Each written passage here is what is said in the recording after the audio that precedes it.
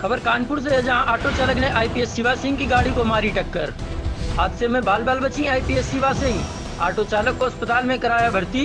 कानपुर के बिठूर थाने में दर्ज की गई रिपोर्ट। इस वक्त की बड़ी खबर हम आपको बता रहे हैं कानपुर से।